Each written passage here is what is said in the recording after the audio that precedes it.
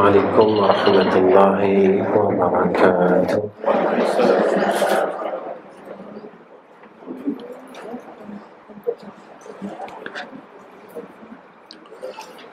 الحمد لله رب العالمين والعاقبة للمتقين والهادي إلى الصراط المستقيم أشهد أن لا إله إلا الله وحده لا شريك له وأشهد أن محمدا عبده ورسوله. اللهم صل على سيدنا محمد وعلى آله وصحبه وسلم. اللهم لك الحمد وإليك المستكى وأنت المستعان. ولا حول ولا قوة إلا بالله العلي العظيم. Pertama sekali kita banyakkan puji dan syukur kepada Allah Subhanahu wa taala dengan hidayah, taufik dan ketentuan yang baik daripada Allah. Maka Allah himpunkan kita pada pagi ini. Sebenarnya kita boleh hadir pada pagi ini bukan sebab kita sihat. Bukan sebab kita kuat bukan sebab kita tahu tetapi adalah pilihan daripada Allah Subhanahu wa taala. Sama juga macam kita hidup hari ini. Kita hidup hari ini bukan sebab kita nak hidup. Tetapi kita dipilih oleh Allah untuk hidup hari ini. Sebab itu tidak ada siapa yang tahu tentang rahsia hari kematian dia sendiri. Seperti mana yang Allah sebut dalam Al-Quran, فَإِذَا جَاءَ أَأَجَلُهُمْ لَا يَسْتَأْخِرُونَ سَاعَةً وَلَا يَسْتَقْدِمُونَ Apabila ajal itu sampai, la yastakhiruna sa'atan. Dia takkan akhir dia takkan lewat. Walaupun satu saat wala yastaqdimun. Dan dia tidak akan cepat. Dia tidak akan terawal. Sebab itu apabila kita dikurniakan oleh Allah akan nikmat ini maka gunalah nikmat ini sebaik mungkin untuk kita dapat jadi hamba yang saleh. Kenapa saya cakap jadi hamba yang saleh? Sebab ada orang alim yang masuk neraka Allah. Seumpama yang Nabi sebut dalam hadis tentang Dajjal itu, besok apabila Dajjal ini zahir, ulama yang mengikut Dajjal itu, Nabi kata jumlah dia terlalu ramai. Iaitu seramai 70 ribu orang yang tu di kalangan ulama. Kalau kita fikir jika ulama juga tewas bagaimana kita yang bukan di kalangan ulama ini bagaimana kita ingin menghadapi akan fitnah itu? Yang ini yang harus kita fikirkan. Sebab itu pada zaman ini apabila kita tidak mula melangkah untuk jadi yang lebih baik kita akan rugi.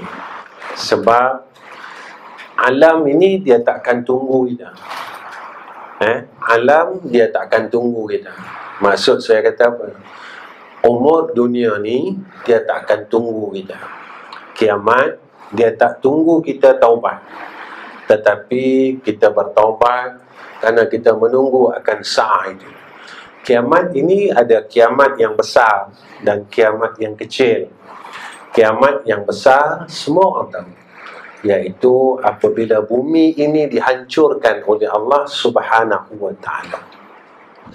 Kiamat yang kecil yang disebut oleh Nabi sallallahu alaihi wasallam iaitu mati. Dan kita bertaubat menunggu kematian. Kita beramal menunggu kematian. Kita berbuat baik kerana kita menunggu kematian. Jangan tunggu mati.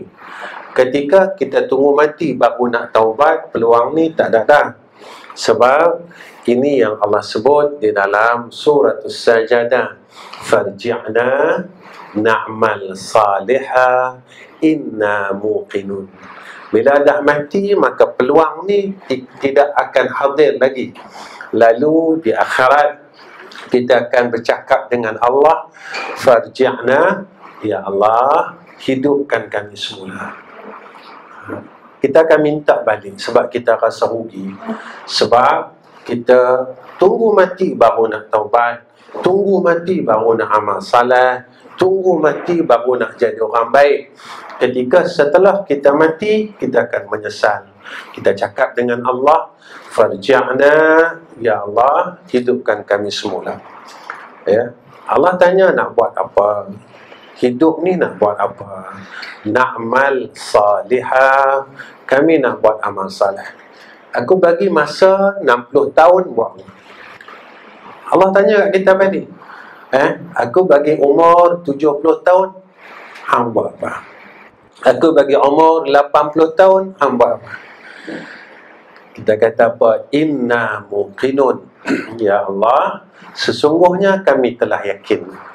Allah nyatakan dekat kita perkara ni awal Allah sebut dalam Al-Quran wa'bud rabbaka hatta ya'tiyakal yakin. Jadilah hamba Allah ya hatta sehinggalah datang ya'tiyakal yakin datang kepada engkau saat yakin. Apa yakin tu iaitu kata ulama saat kematian. Waktu datangnya sakaratul maut itu baru tak kita ni yakin bahawa hidup ini ada akhir.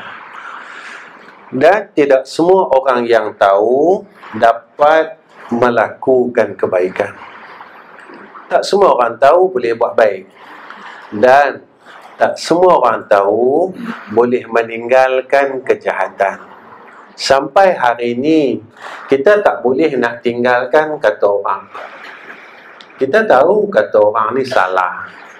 Kita tahu cerita buruk orang ni salah. Dan semua orang tahu yang ni berdosa.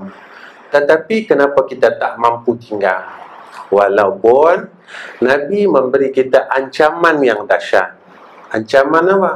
Siapa yang kata ke orang, cerita aib orang, dengar aib orang, seluruh amal salah dia hilang Allah bagikan kepada orang yang kita kata macam mana saya nak dapat balik amal ni jika mana orang yang kita kata itu yang kita buka aib itu maafkan kita.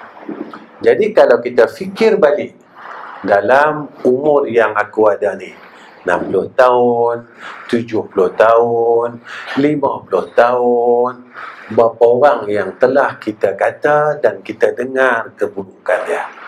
Seorang ke seribu ke dua ribu ke? Kalau seorang pun habis kalau seribu apa yang ada? Jadi benda ni macam mana kita nak mengatasinya? Iaitu dengan i'tiqad yang jazam. Apa dia jazam itu?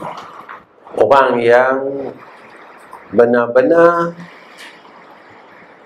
tahkik, benar-benar beriman, akidah yang betul, dia mesti ada dua perkara dalam diri dia.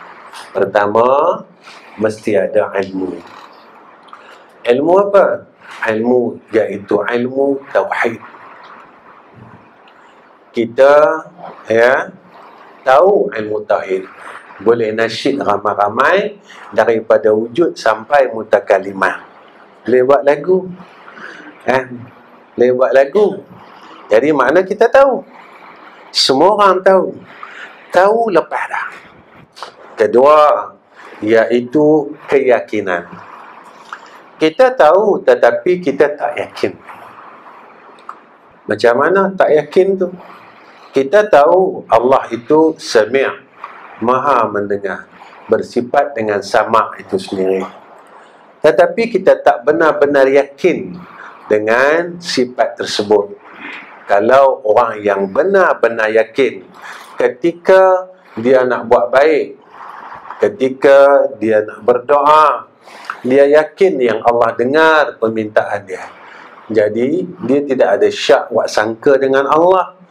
Sebab itu, apabila kita ini tahu tentang ilmu tauhid, maka perkara yang perlu yakni amalan yang perlu kita buat iaitu keyakinan ketika dia tahu yang Allah ini maha mendengar tatkala ia ingin berkata perkara-perkara yang tidak Allah redha iaitu maksiat. Nak kata ke orang nak buka aib orang. Ketika tu dia yakin bahawa Allah ini maha mendengar dia rasa takut. Bila mula saja dia nak cerita tentang aib orang, maka dia tahu yang Allah itu sama dan dia yakin yang Allah itu maha mendengar pada ketika itu dia kata aku tak boleh teruskan perkataan ni. Sebab apa? Sebab Allah dengar apa yang aku cakap. Dan dia yakin tentang bahawa kiri dan kanan dia ada malaikat yang mencatat amal dia. Kalau aku buat baik, aku tak boleh tipu malaikat yang duduk sebelah kanan aku. Kalau aku buat jahat, aku tak boleh tipu malaikat yang ada di sebelah kiri aku. Ketika dia tahu tentang ilmu tauhid, lalu dia benar-benar yakin tentang ilmu yang dia belajar tersebut, pada ketika itu dia akan jadi orang yang bertakwa kepada Allah Subhanahu wa taala. Masa tu dia datang takut. Takut kalau aku buat benda ni Allah tak redha. Takut kalau aku buat benda ni Allah tak suka. Dan ketika ia berbuat kebaikan, dia akan jadikan kebaikan itu sebaik-baik kebaikan. Macam mana yang Nabi doa? Allahumma a'inni ala zikrika wa syukrika wa husni ibadati. Cuba kita fikir. Nabi ni dia buat ibadat tak bagus ya? Yang tak bagus itu kita. Agak-agak Nabi ni dia akan lupa ke Allah Ta'ala? Tak. Yang lupa Allah Ta'ala, kita kita akan ingat Allah Ta'ala bila masa Nabi cakap seseorang itu akan hampir dan mengingati Allah dalam dua keadaan. Satu ketika dia sakit. Yang kedua ketika dia susah. Bila kita sakit kita akan ingat Allah. Bila kita sakit kita baru nak semayang hajat. Ya Allah ha? Ya Allah Aku nak bypass besok Ya Allah ha? Kalau tak buat bypass Tak nak semayang saja Cuba kita tanya diri kita Kalau kita tanya semua orang Nak masuk syurga tak? No? Pernah tak kita semayang aja Minta dengan Allah Supaya kita jadi ahli syurga Pernah tak kita semayang hajat? Ya Allah, minta yang aku ni jangan jadi ahli neraka. Benarlah apa yang Nabi kata. Ketika kita sakit, baru kita dekat dengan dia. Ketika kita sehat, kita tak nampak pun dia. Kita tak ingat pun Allah. Kita tak peduli pun Allah. Sebab kita kata, sehat ini aku yang punya.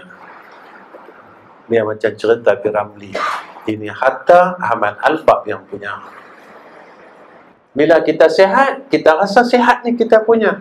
Dan kita terlupa bahawa sehat itu adalah anugerah daripada Allah Subhanahu wa taala.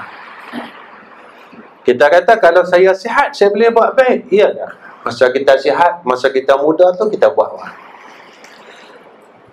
Masa kita sihat dulu, masa kita muda dulu nak bangun malam pun kita tak larat kita larat bangun malam kita boleh semayang malam ketika kita dah tua ni ketika kita dah sakit ketika darah tinggi 180 baru kita larat nak semayang malam Ketika umur kita umur 60 tahun, baru kita boleh istiqamah semayang malam. Masa umur kita 20 dulu, masa umur kita 30 dulu, segi akalnya, sepatutnya umur yang muda dan sihat ini lebih kuat. Tetapi pilihan daripada Allah Subhanahu wa taala ini Allah tak kenal siapa pun kita. Siapa pun kita Allah tak pandang. Tetapi tatkala hati kita ada berdetik untuk hampir kepada Allah, lalu Allah pilih kita. Ni yang Allah didik kita dalam salat. Iyyaka na'budu wa iyyaka nas. Ya Allah, akan dikau kami berbuat pengabdian dan akan dikau kami minta tolong. Kalau engkau tak tolong, kami tak boleh buat baik. Kalau engkau tak tolong, kami tak boleh salat. Kalau engkau tak mau kami, kami tak boleh jadi orang baik. Cuma kadang-kadang, satu-satu aspek sahaja, kita kata, Allah pilih kita. Ini pegangan kebanyakan kita. Masa bila Allah pilih kita, kalau boleh buat haji. Ustaz, Allah pilih saya buat haji. Mengaji ni Allah tak pilih kan? Duduk dalam majlis ilmu ni bukan pilihan Allah kan? Dapat semayang sunat bukan pilihan Allah kan?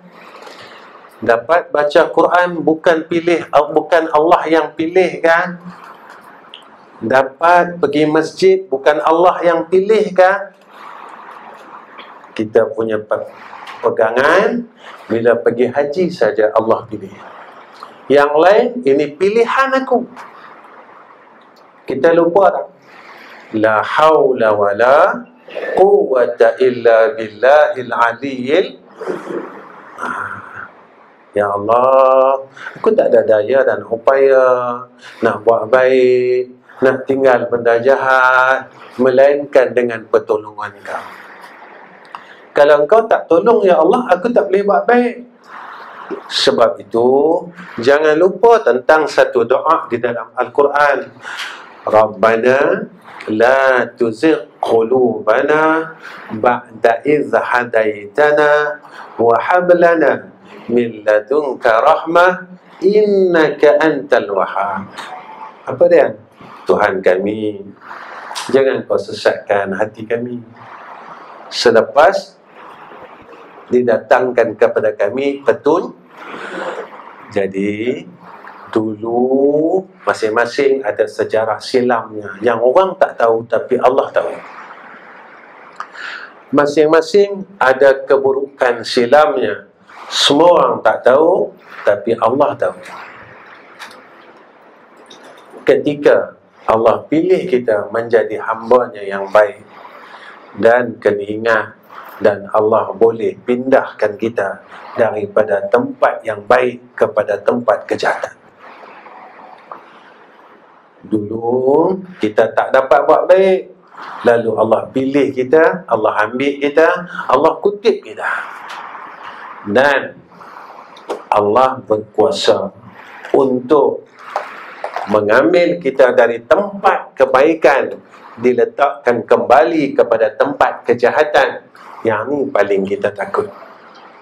Sebab itu seorang hamba Allah apabila dia yakin dengan Allah Subhanahu wa taala pada ketika itu maka Allah kurniakan kepada dia ketakwaan. Dia mula tambah takut dengan Allah, tambah khasyah dengan Allah. Dan pada ketika itu apabila dia benar yakin dengan Allah Subhanahu wa taala dan dia berpegang dengan kesemua sifat 20 itu. Bukan mengaji sifat 20 ya. Allah baqa, Allah ada, Allah kekal. Tapi kita masih lagi tak sayang pada yang kekal, kita sayang pada yang binasa. Kita tanya diri kita, aku sayang mana satu?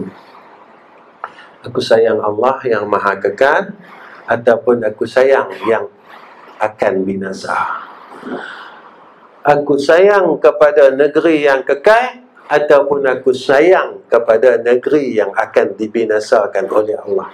Kita yang tahu jawapan dia. Aku sayang mana lagi? Kita tanya. Ya. Sebab itu Nabi kata, besok umat aku akhir zaman, mereka ni banyak macam buih di laut. Buih di laut ni datang ombak habis. Main buih lagi. Datang ombak lagi. Habis. Sahabat tanya. Eh? Ha.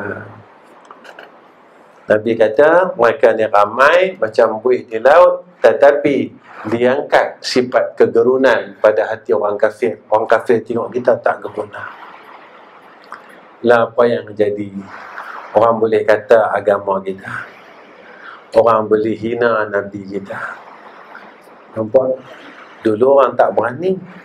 Yang hina agama kita dan Nabi kita bukan orang kafir. Orang Islam. Asal usulnya Islam. Pasal apa jadi macam ni? Nabi kata apa? Ketika itu umat aku ada satu penyakit. Sahabat bertanya, penyakit apa ya Rasulullah? Penyakit wahan. Apa wahan tu? Nabi kata, cinta dekat dunia, cinta dengan dunia. Yang kedua, takut mati. kita kena tanya, pasal apa Allah hidupkan kita sekarang? Nak suruh makan tom yam ke? Eh? Nak suruh kita makan nasi kerabu lagi kan? Nak suruh kita makan laksa lagi kan? Bukan. Kawan kita Allah ambil dah tahun lepas, dua tahun lepas, COVID. Ni mai pula satu virus baru, influenza pula. Lebih sakit dari COVID. Demam dia lagi sakit. Kalau kena demam dia lagi sakit daripada COVID. Ah. Dan dia datang tu tak ada siapa tahu. Nampak tak? Pasal apa Allah tak matikan kita masa Covid dulu?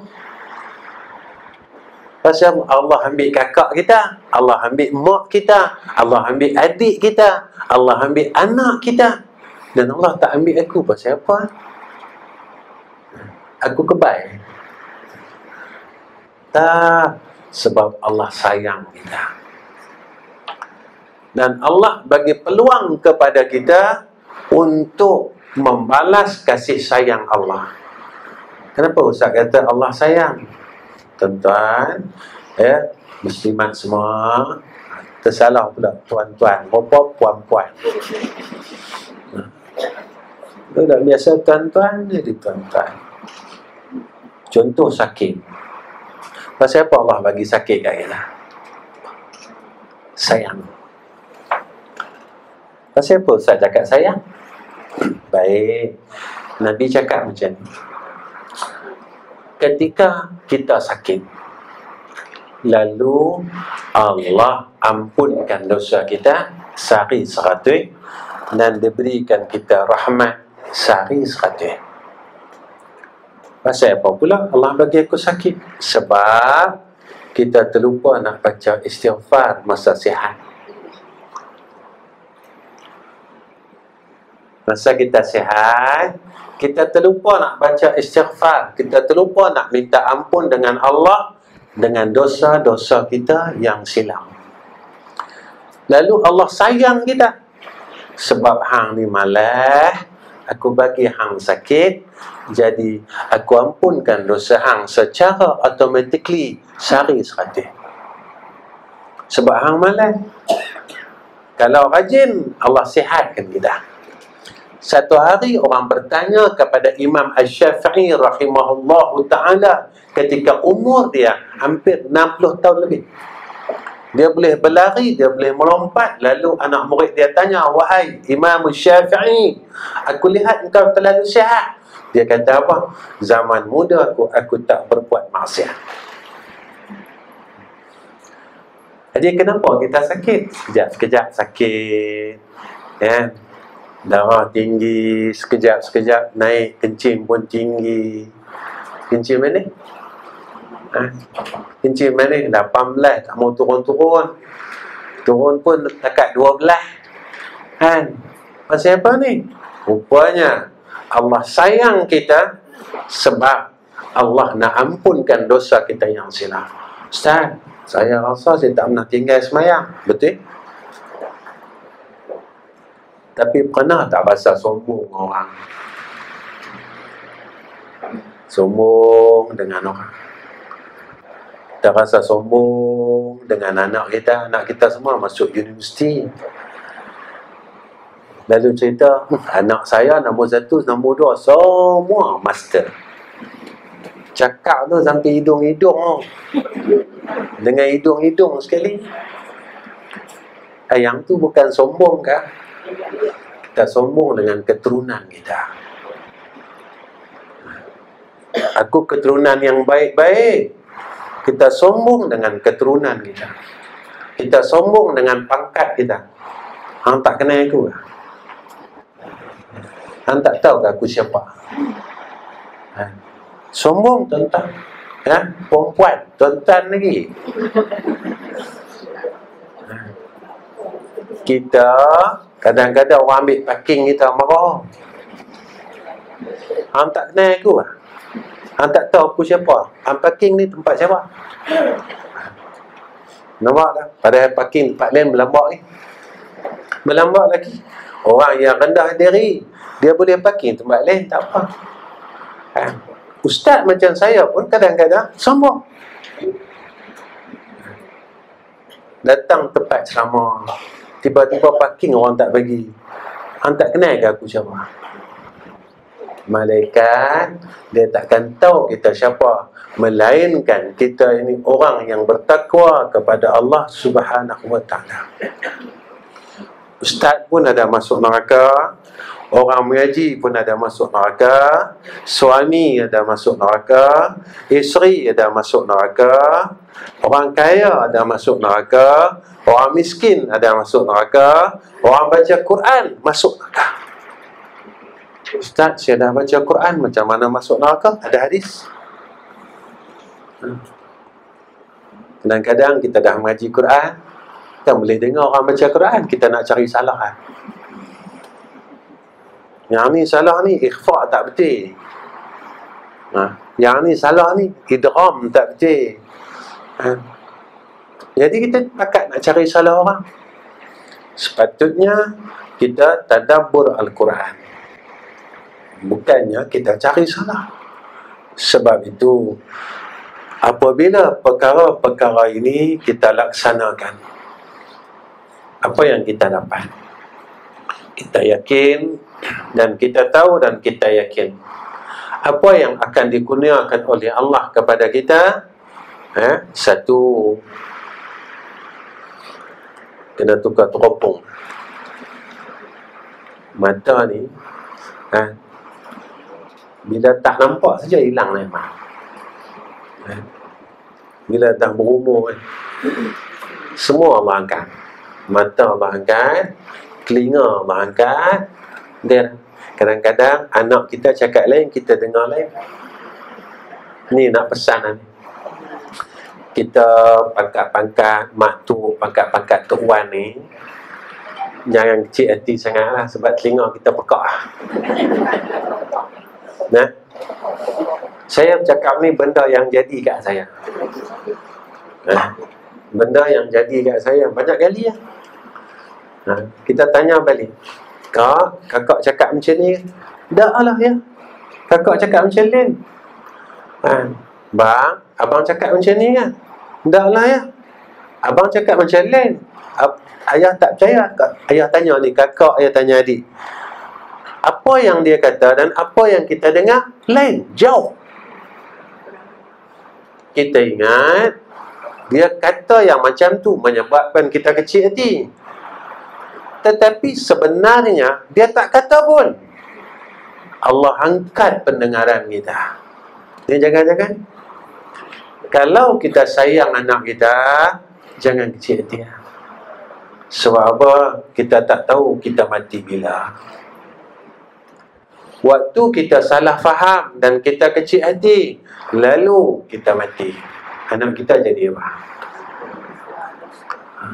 Anak kita jadi anak derhaka.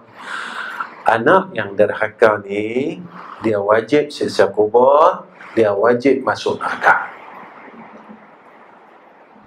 Jadi kita yang pangkat tu, pangkat mak tu, pangkat tok wan ni, ya, malam nak tidur kita cakap dengan Allah, ya Allah, aku ampunkan semua kesilapan anak-anakku, menantu aku, cucu-cucu aku. Katalah kita tidur tak bangun-bangun. Sebab kita baca dah doa tidur tak bangun. Allahumma bismika ahya wa amut. Ya Allah, dengan nama engkau, aku hidup dan aku mati. Kita baca dah doa mati. Sebab itu bila kita boleh saja bangun, kita akan puji Allah. Alhamdulillahillazi segala puji bagi engkau ya Allah allazi ahyana yang telah menghidupkan kami ba'dama amatana selepas kau matikan kami Ya Allah, terima kasih sebab kau dah hidupkan kami balik. Tadi aku mati, Ya Allah. Jadi kau hidupkan aku ni tadi. Tentu kau nak aku buat baik. Bangun-bangun pagi, yang tu kita semayang tahajud tu. Ada yang bangun tak dapat semayang tahajud. Kencinnya sebab kencin balik tinggi. Ya. Bangun tiga kali ya. Ha? Baik. Ketika ya i'tiqad dia itu benar apa yang diperolehinya pertama Allah akan memudahkan baginya urusan kebaikan dia nak buat baik mudah dia nak buat kebaikan mudah saja Allah permudahkan atasnya kedua dia akan rasa kemanisan dalam berbuat baik. Dia buat baik tu dia rasa manis. Dia rasa seronok. Macam mana dia rasa manis dan dia rasa seronok? Bila dia tinggal saja amalan tu dia rasa rugi. Orang yang telah rasa kemanisan dalam berbuat satu ibadat, bila dia tinggal saja, ya Allah ruginya. Ya Allah ruginya kan?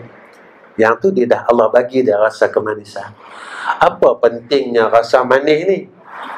Ulama sebut Antara tanda Dosanya Mula diampun oleh Allah Nak kait dengan benar manis ni Tiga tandanya Ini kata ulama Satu Allah berikan kepadanya Kefahaman tentang agama. Dia mula faham tentang hukum hakam agama. Saya rajin orang jumpa dia, Ustaz. Alhamdulillah, dia kata. Ya. Kemarin pun orang datang rumah. Ha? Daripada sampai Jumaat sampai Maghrib. Datang rumah, jumpa dengan saya, Ustaz. Salah seorang dia. Ha? Yang main jumpa, yang jumpa tu datang. Ustaz, saya dulu macam ni, macam ni, macam ni. Alhamdulillah kata dia sekarang saya mula nak kenal agama saya kata Alhamdulillah syukur ha? sebab itu salah satu tanda yang Allah mula nak ampunkan dosa kita kamu yang kedua Allah akan bukakan segala pintu kebaikan untuk kita kenapa kenapa Allah buka pintu baik sebab masa silam kita kita kurang berbuat baik. Lalu Allah bagi peluang pintu baik. Ha? Sebab itu, ya, bila kita tengok apa yang disebutkan oleh Nabi sallallahu alaihi wasallam tentang apabila putusnya apabila mati anak Adam terputus segala amalan melainkan tiga perkara. Tengok cantik ya apabila Nabi sebut. Pertama, sedekah jariah. Orang ada duit boleh sedekah jariah sedekah yang mengalir. Kalau ikut sedekah ni banyak. Ha, tak mengalirnya banyak. Ha, apa dia? Senyum tu sedekah. Ha. Jadi tabung lalu dia, dia senyum ya. dia akan berbuah duit orang jenis kedekut ni dia nak ambil hak yang sedekah. Saya sedekah juga. Tabung lalu kat dia dia tak buah duit dia senyum lah saya sedekah lah tak? Ha? jadi kalau kita tengok hadis ni sungguh cantik. Yang kedua bila orang yang tak ada harta orang tak ada duit bukan semua orang ada duit. Nabi bagi kita peluang kedua. Apa dia? Ilmu yang manfaat yang dimanfaatkan macam mana ilmu manfaat? Kita beritahu dengan orang. Eh? Maka orang ni beramal sehingga akhir hayatnya. Kita mengalir saja kat kita. Ustaz, saya ilmu pun tak ada. Duit pun tak ada. Nabi bagi peluang takhir. Apa dia? Anak yang salih. Nampak tak? Eh? Baiknya Allah, luasnya rahmat Allah orang tak ada duit, kita tak ada ilmu, tapi kita ada anak. Maka jadikan anak kita ini sebagai jariah kita selepas mati. Macam mana? Nabi kata, anak yang sentiasa mendoakan kedua orang tua dia. Jadikan anak kita macam tu. Ya? Lalu, ya, kita tanya anak-anak kita, Bang, abang ada doakan mak tak? Ya? Kakak, kakak ada doakan ayah tak? Kena tanya. Eh? Kena tanya dengan kena didik daripada masa kita hidup. Sebab mati besok kita tak boleh tanya dah. Kalau mati kita tanya lari dia. Masa kita hidup ni kita tanya anak kita. Kak, kakak ada doakan mak tak? Kakak ada doakan ayah. Kakak doa apa kat ayah? Kakak doa apa kat mak? Apabila perkara ini menjadi biasa dalam kehidupan mereka lepas mati kita secara automatik mereka ini akan melakukan kerja yang kita yang dia telah buat semasa hidup kita. Ya? Kena train macam tu. Ya? betul saya didik anak-anak saya macam tu. Sebab kita takut. Takut apa? Selepas kita tak ada besok dia biarkan kita dalam kubur sorang-sorang dia datang tengok kita bila? Hari raya yang tu pun kalau tak balik rumah mentua. Kalau balik rumah mentua dia tak main tengok kita. Dia tinggal kita seorang-seorang itu muja ada raya. Dua tahun lepas tak ada raya dia tak tengok kita dua tahun. Kan kita duduk tunggu mana Kak Long. Kak Long tengok astro Kalung tak boleh tengok kita pun. Ha. Sebab kita pun buat mak kita macam tu, kita buat pak kita macam tu. Kita tak baca pun Fatihah tu arwah mak kita, pak kita setiap hari. Tak baca pun, kita pun tak ingat dengan arwah mak kita, dengan arwah ayah kita. Sebenarnya mereka ni tunggu hari-hari bahagian dia. Sebab itu setengah riwayat mengatakan hari-hari mereka ni tanya dengan malaikat. Malaikat, ada tak hamba hadiah daripada anak-anakku? Malaikat kata tak ada. Mereka ni tunggu macam kita tunggu barang pos. Kita akan beli barang online. Kan? Dah beli tu kita duduk tunggu JNT buat tak main lagi ni. Pos belaju buat tak main lagi ni. Kalau tengok dalam telefon delivery lah. Awak tak datang-datang lagi. Macam tu lah kita besok tunggu hadiah daripada anak-anak kita. Tiap-tiap hari kita tanya malaikat. Malaikat, ada tak bawa hadiah untuk aku? Malaikat kata tak ada.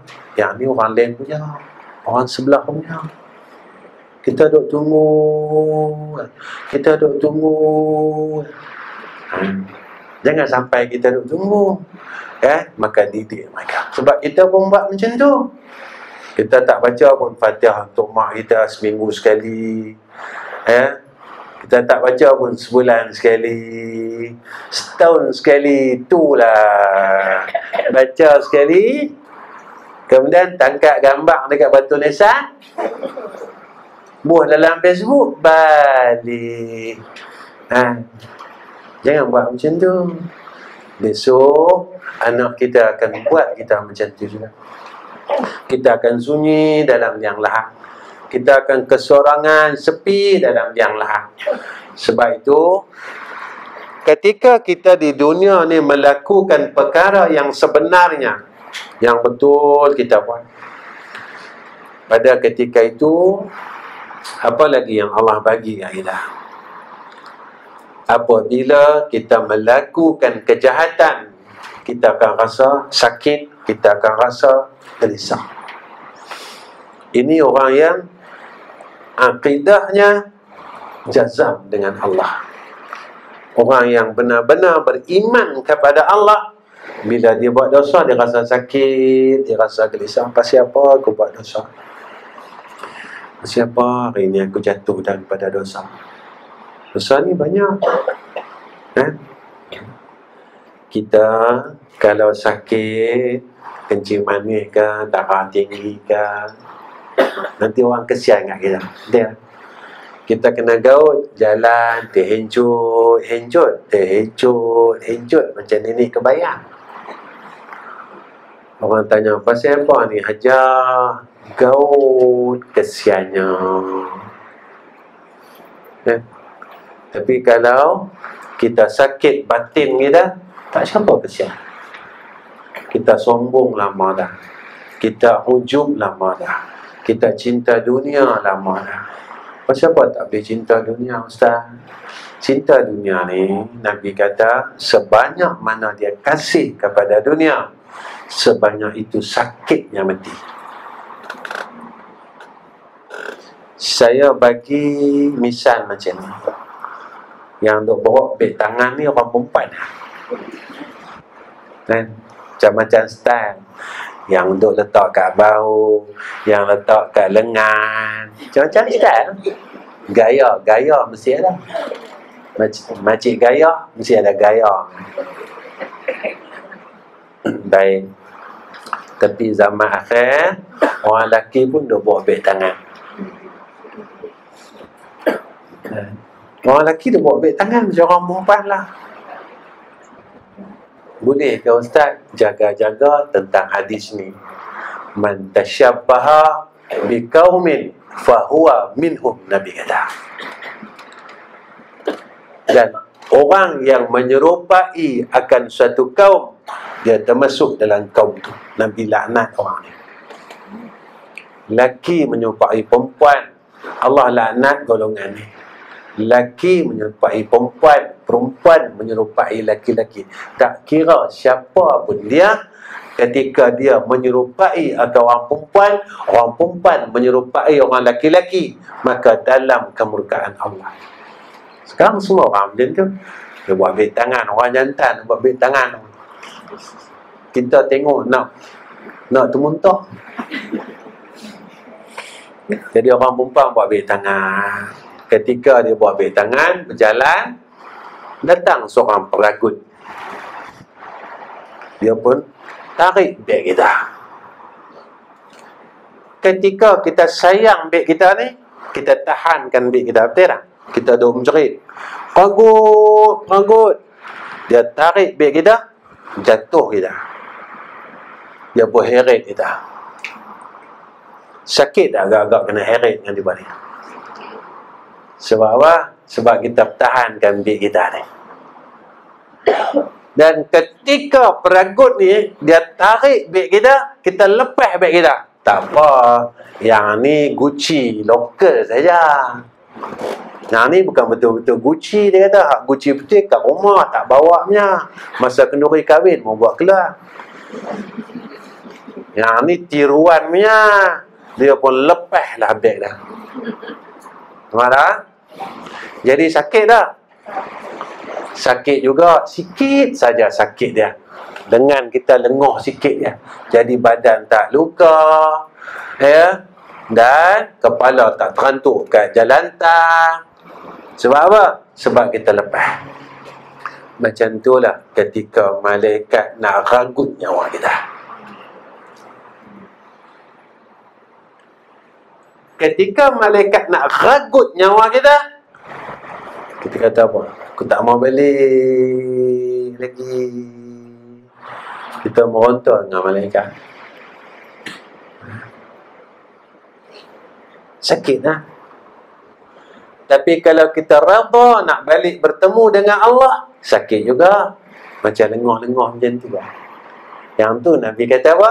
Macam mana rambut ditarik di dalam te tepung. Bekas tetap bekas bekas tetap bekas macam kita dengar hadis yang mana masuk dalam liang lahat maka kubur ni akan himpit kita. Sehingga bertemu tulang rusuk kanan dan tulang rusuk kiri. Orang yang mati khusnul khatimah dia kena himpit juga tak? kena. Kena himpit juga. Himpitan dia macam mana? macam seorang ibu peluk anak dia ini orang khusnul khatimah.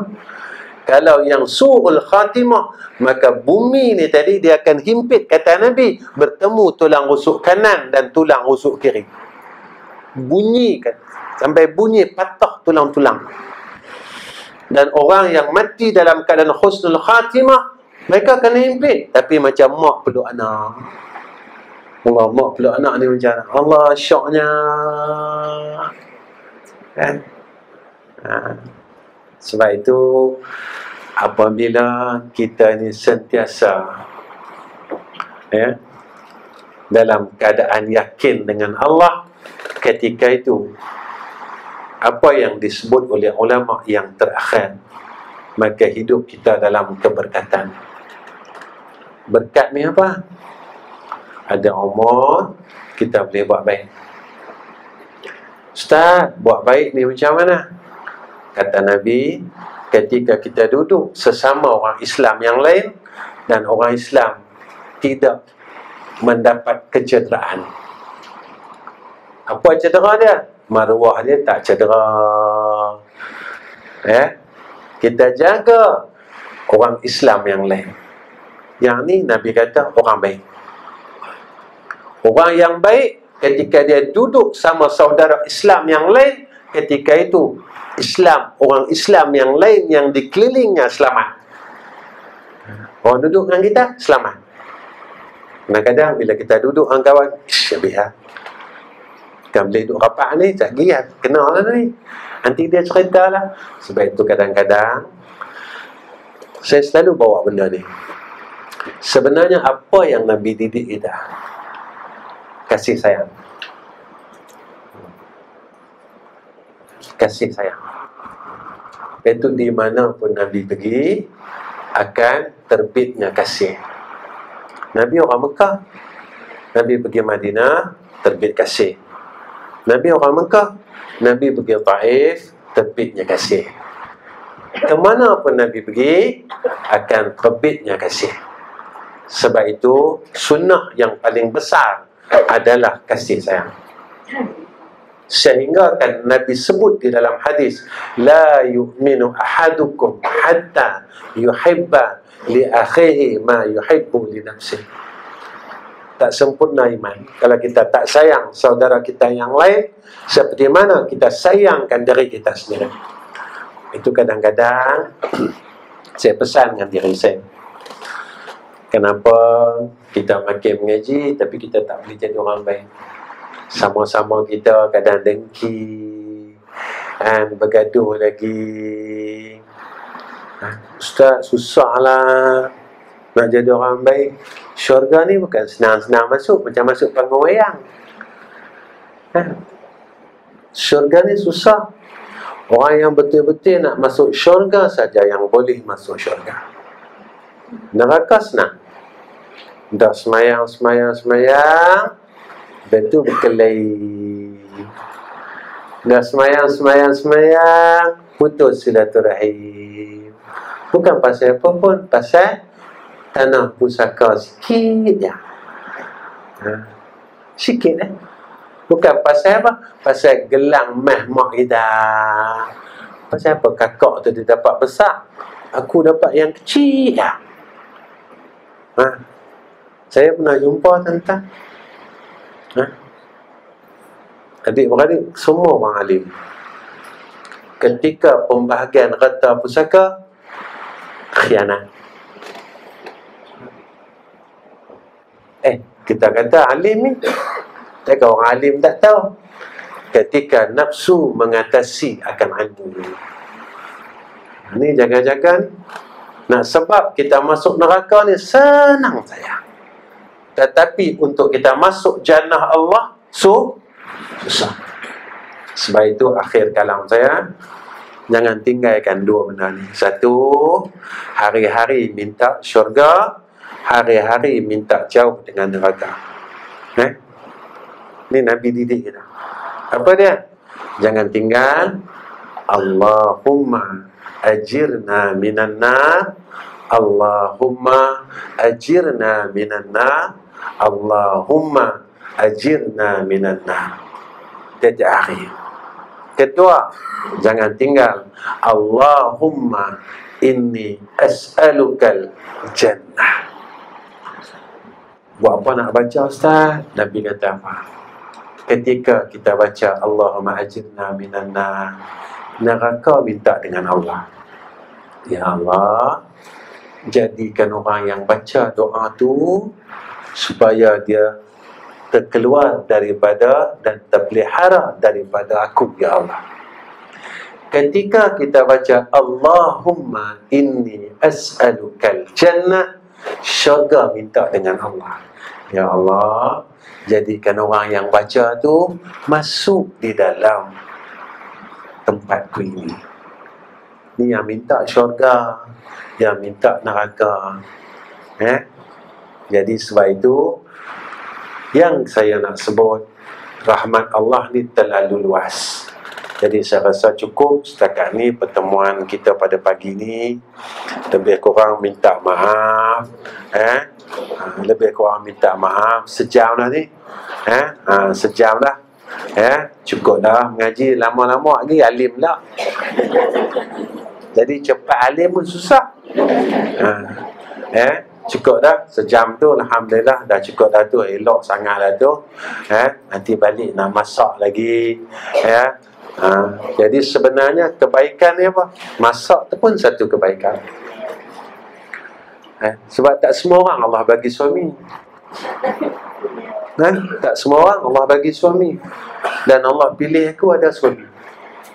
Rupa dia jalan. Allah pilih aku untuk ada suami rupa jalan aku sebagai seorang isteri untuk aku masuk syurga.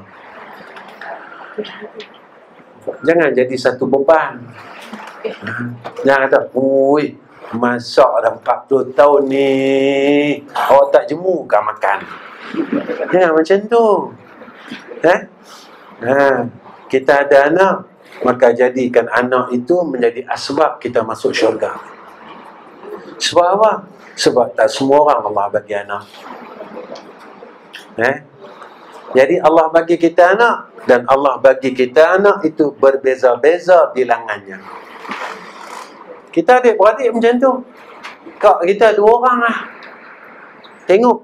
Kita anak tujuh. Ui, banyaknya. Saya adik-beradik tiga belas. Hak paling banyak anak kakak saya. Nombor dua, saya. Ha. Hak lain dia beradik, dua orang, tiga orang, dia beradik. Kalau ikut keturunan, semua jenis banyak anak ramai, tiga puluh orang. Pasal apa Allah tak bagi semua berderet semua? Ha. Allah pilih. Dan Allah tahu. Jadi, jadikan anak-anak kita menjadi asma untuk kita masuk syurga. Sebab di antara tanda akhir zaman, Nabi kata, orang menjadikan anak-anak ini satu bebanan.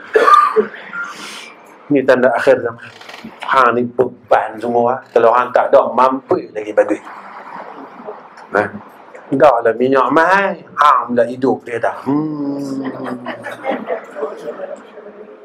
Ni tanda akhir zaman Nabi kata. Maka ibu bapa menganggap anak ini satu bebanan kata Nabi yang ni tanda zaman dah akhir jaga. Jadi Allah bagi kita anak, lalu kita menjadikan asbab anak ini untuk aku masuk syurga. Ya Allah, aku nak semayang malam macam orang lain, aku tak mampu. Yang aku mampu kencing malam ya. Ya Allah Maka aku jadikan anak-anak ini Menjadi asbab untuk aku masuk syurga. Aku jaga mereka elok-elok. Aku ajar mereka elok-elok. Besok kalau aku mati Yang ni lah jariah aku ya Allah. Mereka boleh baca Quran untuk aku. Mereka boleh bangun Minta doa untuk aku ya Allah Ampunkanlah dosa arwah mak ya Allah. Ampunkanlah dosa arwah ayah ya Allah. Dulu masa dia hidup Dia besarkan aku. Dia ni suka tipu aku ya Allah Masa dia tak ada duit ha? Dia suruh kami makan dulu ya Allah. Walhal perut dia lapar Bunyi qa kru kru Aku dengar ya Allah. Tapi demi anak-anak ya Dia tahan Supaya anak-anak dia dapat makan dulu. Ini kenyataan tuan Kita sebagai ayah Sebagai ibu Kita tahu kemampuan kita Ketika kita beli lauk untuk anak-anak kita Anak kita masa tu Seronok makan lauk tu Kan? Kita nak ambil ni rasa macam mana? kan? Tak, tak gamak nak ambil kan? Kita orang bagi. Ya, ayah tak ambil luk kan? Ish, tak apa lah eh. Tak apa nak, macam tak apa nak selera lah hari ni. Ha, tak? Sebab ketika kita tengok anak kita, masa tu, ish, suka sangat mereka dengan luk ni. Kita tipu tak anak kita? Kita tipu anak kita. Nampak tak? dan seorang anak dia nampak benda tu. Ada anak, salah seorang anak kita mesti perasan. Dia kata, hmm, ya, kakak tahu ayah suka tapi kakak, ayah tengok. Kakak tengok sebab ayah tengok anak-anak makan seronok kan? Ayah tahan. Kakak tahu, ada di antara anak kita yang perasan apa kita buat. Ketika besok kita tak ada, dia akan minta dengan Allah. Ya Allah, masa hidup dia dulu dia sanggup tahan lauk yang dia suka demi kami ya Allah. Mak pun kita akan angkat tangan ya Allah masa mak hidup dulu kami sakit tengah malam dia bangun. Mata duduk pejam ya Allah. Dia duduk badan kami dia tidur. Bila pun kami tak tahu ya Allah ampunkan dosa dia sebab dia terlalu baik dengan kami. Lah kami dah tak ada mak. Lah ya kami dah tak ada. Ya Allah. Buatlah baik kepada mereka seperti mereka telah buat baik kepada kami. Dan kita doa macam tu kan? Rabbana faghfir lana zunubana. Habis dah Maafir lana zunubana wali walidina warhamhuma kama rabbayana saghira. Ya Allah ampunkan dosa kami ampunkan dosa mak dan ayah kami. Kasihankanlah mereka ya Allah. Macam mana mereka kesiankan kami waktu kami kecil. Kan macam tu kita kena cakap dengan anak kita. Saya saya cakap dengan anak-anak saya. Ketika mereka ni besarkan cucu-cucu kita. Saya cakap dengan anak-anak saya. Anak apa nak tahu dah? Apa rasa susah kan jaga anak-anak apa? Sebenarnya macam tu lah yang ayah dan mak rasa dulu. Lah apa rasa lah? Nampak rasa kan susah kan jaga anak. Yang ni teriak seorang penat lama yang ni sakit demam. Yang ni yang ni. Kan macam-macam. Kena anak macam-macam kan? Ha, kita cakap dengan anak kita. Kalau hampa nak tahu ketika kami besarkan hampa macam ni lah. Ha, macam ni lah. Hampa kena rasa barulah hampa akan rasa kasih dengan mereka. Macam mana kami kasih dengan hampa mak sayang dengan hampa ayah sayang dengan hampa ya macam itulah hampa akan sayang dengan anak-anak hampa. Eh baik itu nasihat saya seorang ibu dan seorang ayah selalu peluk anak dia. Kenapa ustaz? Kena buat macam tu sebab nabi buat. Eh nabi nak musafir nabi akan peluk siti fatimah. Balik musafir Nabi balik, Nabi akan singgah dulu rumah Siti Fatimah. Nabi tak balik rumah isteri dia. Balik-balik musafir Nabi akan ketuk rumah Siti Fatimah. Ketuk dulu. Ha? Fatimah tidak baik lagi. Fatimah dah kahwin tau. Masa tu. Tanya Fatimah tidak tak lagi. Ha? Aku ni kata Rasulullah, aku datang nak tengok Fatimah. Ha? Senali panggil. Ha? Dia dah peluk Siti Fatimah, dia dah cium Siti Fatimah, baru dia balik rumah Siti Aisyah. Ha? Yang ni sunnah yang orang tinggal kan. Seorang ibu peluk anak dia, cium anak dia. Ustaz, anak saya dah umur 30 Ustaz. Jangan malu. Saya sampai sekarang saya peluk anak saya lagi. Anak saya dah anak empat orang. Ya. Umur 30 lebih anak saya. Masih peluk anak saya, masih ya, cium anak saya. Ha. Masih. Dan saya yang urut anak saya. Ha. Orang orang perak panggil apa? Sengkak perut lah. Ha. Dia sakit perut, saya sengkak perut dia. Ha. Ha. Ini macam? Eh, kenapa? Yang tu sunnah rah. Ustaz Rasulullah ada sengkak perut Siti Fatimah. Tak ada lah eh. Ha. Jangan pula kata Rasulullah pun sengkak perut Siti Fatimah. Yang tu bohong tu. Eh, mana tunjukkan kasih kita kepada anak-anak kita supaya selepas kita meninggal dunia mereka akan sayang kita macam mana mereka sayang kita sewaktu kita hidup baik tekan ni ya. dan saya sebelum saya tutup pertama saya minta doa doa supaya saya, isteri, anak-anak, menantu, cucu kami dapat jadi orang saleh ya, hidup sebagai orang saleh dan mati sebagai orang saleh. Yang kedua, saya minta doa akan ketiga-tiga madrasah kami. Satu, madrasah saya di Kuala Guru Baru. Dua, madrasah saya di Batang Kali, Selangor. Eh, yang ketiga, madrasah saya di Kuala Terengganu. Eh, yang mana madrasah yang di Kuala Terengganu itu baru je saya terima daripada seorang dermawan yang berhajat sangat-sangat untuk kami terima tanah tersebut. Dan Alhamdulillah, dah 6 bulan saya terima dan sekarang dalam proses pembinaan. Pembinaan yang ada sekarang iaitu surau ya, dan surau hampir 50% ke 60% telah kami bina ya. dan kalau pergi ke Terengganu boleh singgah di madrasah kami. Ya. keluar saja tun Kuala Terengganu ambil kiri nampak petrol sebelah saja petrol betul-betul tepi jalan. Ya.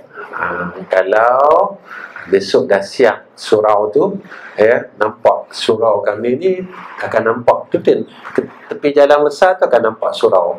Akan nampak surau.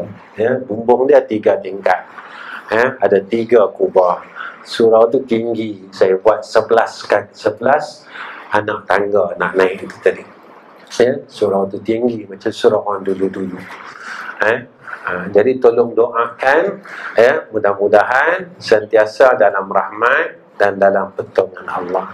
Itu yang kedua. Yang ketiga, saya harap sangat. Pihak apa persatuan ya pada hari ini tidak memberikan saya sagu hati untuk kuliah ni sebab saya memang tak terima dah sagu hati kuliah di mana-mana saya terima. Sebab apa Ustaz tak terima? Sebab saya nak jadikan ini sebagai satu platform amal soleh saya. Eh? Cukuplah saya nak pun nak jadi orang baik. Eh? Ustaz, macam mana Ustaz isi minyak? Saya isi minyak di Petron, di share sama macam tuan Saya tak pakai kencing dah. Ya, sama. Eh? Jangan risau. Eh? Kata saya berjalan dah bertahun-tahun dah dengan saya buat benda ni. Ya. ya sebenarnya apa tuan-tuan? Allah nak tengok kita aja. Ya. Allah nak tengok ya. Kau buat ni betul tak sebab aku? Atau kau buat sebab lain? Sama kayak kita semayang. Kita pun angkat takbir. Allah nak tengok. Kau buat ni betul tak sebab? Ataupun kau, kau buat ni sebab kau takut neraka ya. Ha ataupun sebab kau, kau sayang dekat aku Jadi Allah nak tengok kita ya. Jadi yang lain-lain Allah selesaikan. Jangan risau. Eh, cuma saya nak minta doa saja ya Allah. Dalam dan perempuan bangun tengah malam teringat dan is teringatlah kak ustaz ni pagi tadi duduk kuliah dan dicakap apa satu tak faham. Tapi dia minta doa yang tu ya dok teringat. Yang lain tak teringat langsung. Dan dalam ingat Tanya, is pasal apa? Aku tak ingat. Rupanya aku lagi dah. Betul tak ingat. Eh? Ha, jadi, Tolong doa Ya Allah. Ustaz ni ada ubat macam ni Macam ni Ya Allah Tolong dia. Okay? Baik Yang tu saja.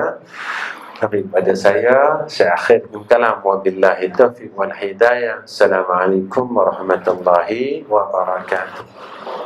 Bismillahirrahmanirrahim. الله الرحمن الرحيم الحمد لله رب العالمين والصلاة والسلام على أشرف الأنبياء والمرسلين وعلى آله وصحبه Ya Allah, Ya Rahman, Ya Rahim. Ya Allah, kami panggil namamu Ya Arhamar Rahimin. Ya Allah, kami seru namamu Ya Arhamar Rahimin. Ya Allah, kami merayu dengan namamu Ya Arhamar Rahimin. Ya Allah kejahatan, kemaksiatan, dosa silam kami ya Allah. Maafkanlah, ampunkanlah ya Allah Ya Allah, kami mohon kepada Engkau Ya Allah, jadikan sisa-sisa umur kami yang kami tak tahu. Berapa harikah, berapa bulankah, berapa tahunkah yang tinggal lagi untuk kami Ya Allah, jadikan baki umur kami, kami dapat buat baik Ya Allah, dan peliharalah kami daripada kejahatan dan kemaksiatan Ya Allah. Allah, besok ataupun sampai masanya nanti kau matikan kami dan kau panggil kami untuk menghadap hadrat kau ya Allah. Benarkanlah lidah kami ini menyebut namamu ya Arhamar Rahimin.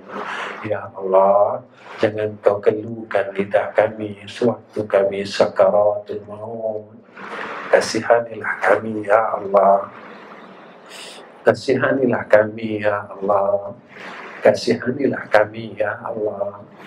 Walaupun kami ini tak banyak buat baik Tapi kau kasihanilah kami ya Allah. Ya Allah Rezekikan atas kami Khusnul khatimah. Dan kau peliharalah kami Daripada su'ul khatimah. Ya Allah Satu lagi permintaan kami Ya Allah sebelum kau matikan kami ya Allah rezekikan atas kami. Kami dapat tengok wajah Nabi kami Nabi Muhammad sallallahu alaihi wasallam. Ya Allah sebenarnya kami rindu dengan Rasulullah sallallahu alaihi wasallam. Ya Allah sebenarnya kami teringin sangat nak tengok akan wajah kekasih kami Sayyidina Muhammad sallallahu alaihi wasallam. Mungkin sebab dosa kami, Ya Allah, Nabi tak mau melihat kami.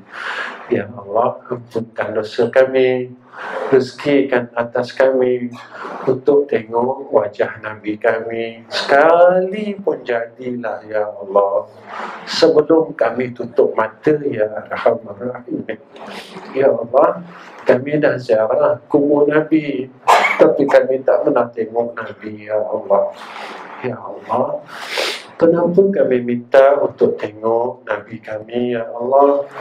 Kerana Nabi dah janjikan kepada kami jika mana umatku bertemu dengan aku di dalam dunia walaupun dengan cara mimpi Nabi akan syafaat akan umatnya itu ya Allah Ya Allah, kami nak sangat syafaat Rasul ya Allah Maka kurniakan atas kami nikmat itu ya Allah. Ala Sayyidina Muhammad wa ala ali Sayyidina Muhammad walhamdulillahi rabbil alamin. taqabbalallahu minna wa minkum